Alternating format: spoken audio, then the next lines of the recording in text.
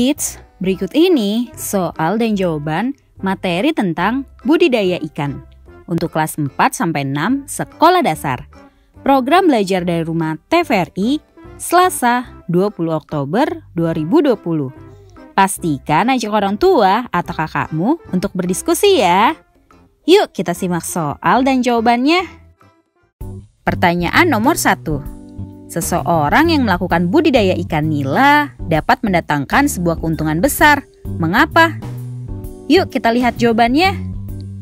Budidaya ikan nila bisa mendatangkan keuntungan besar karena selain memiliki nilai gizi baik dan manfaat bagi kesehatan, ikan nila juga memiliki poin penting dalam hal ekonomi sebagai peluang usaha ternak yang sukses.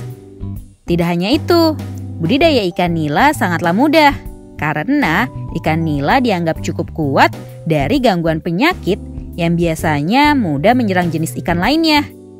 Jadi akan lebih mudah untuk dirawat dan biayanya murah, serta mendapatkan untung yang lebih baik juga.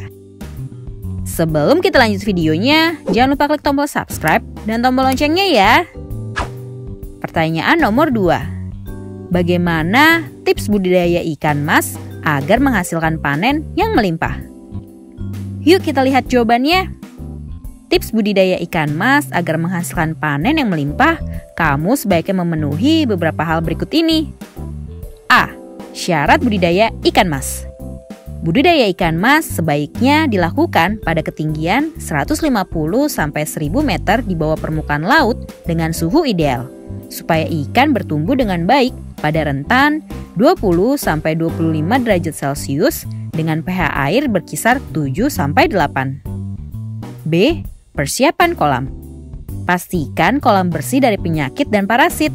Hal yang pertama dilakukan adalah dengan mengeringkan kolam ikan agar penyakit dan parasit dapat mati akibat paparan sinar matahari selama satu hari untuk kolam semen dan 5-7 hari untuk kolam tanah.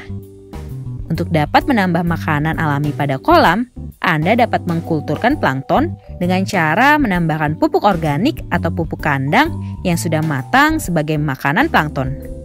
Dosis pupuk yang dapat diberikan yaitu antara 1 sampai 2 ton.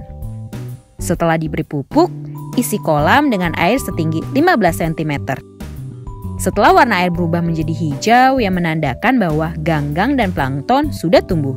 Isi kolam dengan air hingga ketinggian 120 cm. C. Menebar bibit. Gunakan bibit ikan yang unggul agar resiko kegagalan dapat ditekan. Bibit ikan yang unggul memiliki ciri-ciri pergerakannya gesit, kulitnya mulus tanpa luka atau jamur, dan parasit lainnya.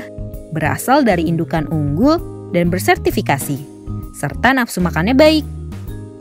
Sesuaikan jumlah bibit dengan luas kolam ikan. Untuk jenis ikan mas konsumsi, kamu harus menebarkan benih dengan kepadatan 20 ekor per meter persegi. D. Pemberian pakan. Kamu bisa memberi pakan pada ikan mas dengan pelet berprotein 25% dengan volume pemberian 3-4% dari bobot ikan. Beri makan pada pagi dan sore hari secukupnya agar tidak meninggalkan sisa makanan yang bisa menimbulkan penyakit dan mengurangi oksigen akibat proses pembusukan pakan. E. Panen ikan mas.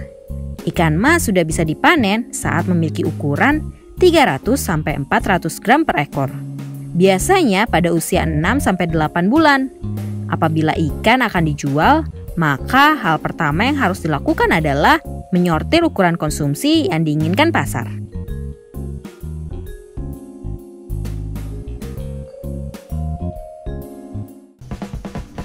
Sampai di sini dulu ya videonya. Jangan lupa like, komen, subscribe, dan share ke teman-teman lainnya ya kids. Bye-bye!